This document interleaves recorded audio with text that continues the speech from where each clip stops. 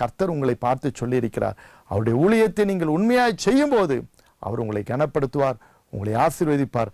நீங்கள் மனுஷரை அல்ல கிறிஸ்துவை பிரியப்படுத்துகிற ஊழியர்களாக இருக்கிறபடினாலே ஆண்டவர் உங்களை ஆசீர்வதிக்கிறார்.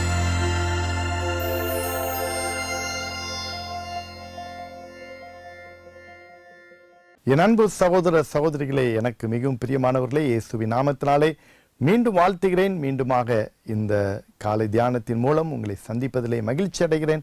கர்த்தர் உங்கள் ஒவ்வொருவரையும் ஆசீர்வதிப்பாராக. நம்முடைய இந்த மினிஸ்ட்ரி ஆஃப் ஜீசஸ் யூடியூப் சேனலை இதுவரையும் சப்ஸ்கிரைப் பண்ணலன்னா பண்ணிக்கொள்ளுங்கள். அநேகருக்கு ஷேர் பண்ணுங்கள் கர்த்தர் உங்களை ஆசீர்வதிக்கட்டும். இன்றைக்கும் அப்போஸ்தலனாகிய பவுல் கலாத்தியருக்கு எழுதின நிறுவம் ஒன்றாம் அதிகாரத்திலிருந்து ஒரு வசனத்தை உங்களுக்கு கோடிட்டு காட்ட விரும்புகிறேன். இந்த நாள் நீ தியானத்திற்காக கலாத்தியர் ஒன்றாம் அதிகாரம் பத்தாம் வசனத்தை நான் வாசிக்கிறேன். கவனிங்கள் நான் மனுஷரையா தேவனையா யாரை நாடி போதிக்கிறேன்? மனுஷரையா பிரியப்படுத்த பார்க்கிறேன்? நான் இன்னும் மனுஷரை பிரியப்படுத்துகிறவனாயிருந்தால் நான் கிறிஸ்துவின் ஊழியக்காரன் அல்லவே. நான் இன்னும் மனுஷரை பிரியப்படுத்துகிறவனாயிருந்தால் நான் கிறிஸ்துவின் ஊழியக்காரன் அல்லவே. Galatians chapter one verse ten for if I still pleased men I would not be a bond servant of Christ நான் இன்னும் மனுஷனை பிரியப்படுத்திட்டு இருந்தேன்னா நான் கத்தருடைய ஊழியக்காரன் அல்ல. இது தெளிவான ஒரு வார்த்தை. அப்ப கத்தருடைய ஊழியக்காரன் எப்படிப்பட்டவனா இருக்க? யார் கத்தருடைய ஊழியக்காரனா இருக்க முடியும்? மனுஷனை பிரியப்படுத்தாதவன் கர்த்தரை மாத்திரம் பிரியப்படுத்துகிறவன். இன்றைக்கு அநேக செய்திகள் பிரசங்கங்கள் மனிதர்களுக்கு கேட்டாற்போல் கேட்கிறவர்களுக்கு கேட்டாற்போல் அவர்களுக்கு பிரியமாக இருக்கக்கூடிய எத்தனையோ செய்திகளை செழிப்பு செய்திகளை உபதேசங்கள் இன்றைக்கி நம்ம கேட்குறோம். அவைகள் பெருகி கொண்டிருக்கிறது. ஆனால் இன்றைக்கு வேதம் என்ன சொல்லுகிறது? மனுஷனை பிரியப்படுத்துறதில்ல கத்தரை பிரியப்படுத்துகிற செய்திகளை நம்ம சொல்லணும். அதை தான் ஒன்று தெசலோனிக்கு ரெண்டாம் அதிகாரம் நாலாம் வசனத்தில் என்ன சொல்லியிருக்கு?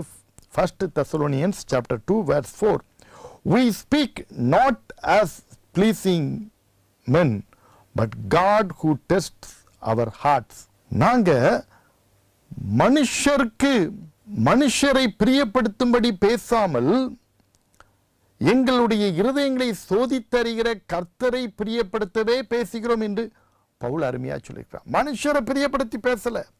நாங்கள் எங்களை இருதயத்தை சோதித்தறிகிற கர்த்தரை பிரியப்படுத்தி பேசுகிறோம். இப்போ இங்கே என்ன பிரச்சனைனா இந்த கலேஷியன் இந்த ஊரில் இந்த பகுதியில் பவுலுக்கு பிடிக்காதவங்க சிலர் எழும்பிட்டாங்க.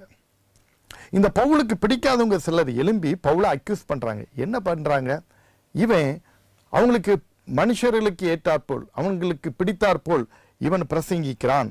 Who was trying to please only man இவனுடைய பிரசங்கம் தேவனை ப்ளீஸ் பண்ற மாதிரி இல்ல மனிதர்களை ப்ளீஸ் பண்ணுவது போல இருக்கிறது என்பதை ஒரு சர்ச்சையை கிளப்பிட்டாங்க.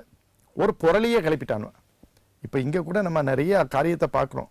அங்கெங்கே அந்த புரளி சர்ச்சைகள் சும்மா சும்மா கிளப்பி விடுறதுக்குனே ஆட்கள் இருப்பானுவன் பாயிண்டே இருக்காது ஆனால் சும்மா கிளப்பி விட்டுருவானு அதே போல தான் அன்றைக்கும் பவுளை குறித்து சர்ச்சையை கிளப்பி விடுவதற்கு ஆட்கள் இருந்தார்கள். இவன் மனிதர்களை பிரியப்படுத்தும்படியே பேசுகிறான். என் அன்புக்குரிய தேவனுடைய பிள்ளைகளே இந்த வசனத்தின் அடிப்படையிலே பவுல் சொல்கிறான் நான் மனுஷரை பிரியப்படுத்தியிருந்தா கத்தருடைய ஊழியக்காரனவே இருக்க முடியாது. அதை ஆணித்தரமாக சொல்கிறான் அதை சப்போர்ட் பண்ணும்படியாக ஒரு நாலு குறிப்பை உங்கள் மத்தியிலே நான் கூடிட்டு காட்ட விரும்புகிறேன். Number one it is very difficult to please men and at the same time be a servant of Christ ஆண்டவருடைய ஊழியக்காரனாக இருந்து கொண்டு மனுஷரை பிரியப்படுத்தணுங்கிறது இயலாத ஒரு காரியம் கடினமான ஒரு காரியம். இதுதான் அதோடைய அர்த்தம். நான் கத்தருடைய ஊழியக்காரனாக இருந்துட்டு நான் எப்படி மனுஷனை மட்டும் பிரியப்படுத்திட்டு இருக்க முடியும்? இது இயலாத காரியம். It is not at all possible number two no matter what other people think மற்றவன் என்ன யோசிக்கிறான் திங்க் பண்ணுறான் அதை பற்றி எனக்கு பிரச்சனையே இல்லை. நான் கத்தருடைய ஊழியக்காரன். மற்றவங்க ஆயிரம் பேசுவாங்க எதையும் பேசுவாங்க. பவுலுக்கு எதிர்ப்பாளர்கள் எப்படி பேசினார்களோ இதே போல இப்பொழுதும் கத்தருடைய ஊழியத்தை உண்மையும் உத்தவமாய் செய்யும் போது அவர்களை குறித்து சர்ச்சைகளை கிளப்புகிறதற்கு சிலர் இருக்கதான் செய்வார்கள். ஆகவே no matter what other people think அவங்க என்ன யோசிக்கிறாங்களோ அதை பற்றி எனக்கு பிரச்சனை இல்லை.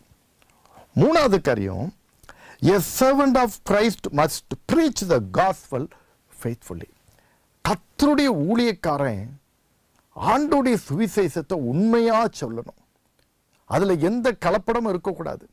அதில் எந்த தடுமாற்றமும் இருக்கக்கூடாது.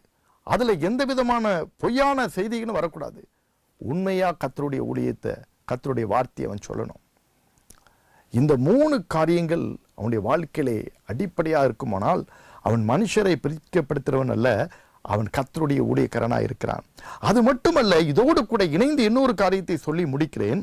த சர்வன்ட் ஆஃப் கிரைஸ்ட் அல்லது த ப்ரீச்சர் சுப்ரீம் பர்பஸ் ஒரு பிரசங்கியாருடைய ஒரு சுவிசேஷனுடைய அவருடைய முக்கியமான நோக்கம் என்னவா இருக்கணும்னா ரெண்டே நோக்கம்தான். ஒன்று ஹானர் கிரைஸ்ட் கிறிஸ்துவ கனப்படுத்துகிறவனாக இருக்கணும். கிறிஸ்து உயரணும். கிறிஸ்துவ மேன்மைப்படுத்துகிறவனாக இருக்கணும். ரெண்டாவது to lead people in the path of salvation ஜனங்களை ரட்சிப்பின் பாதையிலே நடத்துகிறவனாக இருக்கணும். இதுதான் ஒரு சுவிசேஷனுடைய பிரதான நோக்கமாக இருக்கணும். கர்த்தரை கனம் பண்ணணும் மக்களை சுவிசேஷத்தை சொல்லி அவர்களை ரட்சிப்பின் பாதையில் நடத்தணும். இது செய்தனா அவன் சரியான ஒரு ஊழியக்காரனாக இருக்க முடியும். அவனை குறித்து மற்றவர்கள் என்னத்தை சொன்னாலும் அதை குறித்து யோசிக்க வேண்டிய அவசியமில்லை அதை குறித்து சிந்திக்க வேண்டிய அவசியமில்லை அதை ஒரு பொருட்டாக எண்ண வேண்டிய அவசியமே இல்லை ஏனென்றால் மனுஷனை பிரியப்படுத்துகிறவன் தேவனுடைய ஊழியக்காரனாக இருக்க முடியாது. தேவனுடைய ஊழியக்காரன் மனுஷனை பிரியப்படுத்த முடியாது. மனுஷன் என்ன யோசிக்கானோ அதை குறித்து கவலைப்பட வேண்டிய அவசியம் இல்லை கத்தருடைய ஊழியத்தை உண்மையாய் செய்ய வேண்டும். ரெண்டே பிரதான நோக்கம் அவரை கனப்படுத்த வேண்டும். ஜனங்களை ரட்சிப்பின் பாதையிலே நடத்த வேண்டும். அந்த பாக்கியத்தை ஆண்டவர் கொடுக்கும்படியாக ஒருவேளை யாரெல்லாம் இறை பணியை செய்து கொண்டிருக்கிறீர்களோ தேவனுடைய ஊழியத்தை செய்து கொண்டிருக்கிறீர்களோ விசேஷமாக உங்களுக்காக இன்றைக்கு நான் ஜெபிக்க போகிறேன்.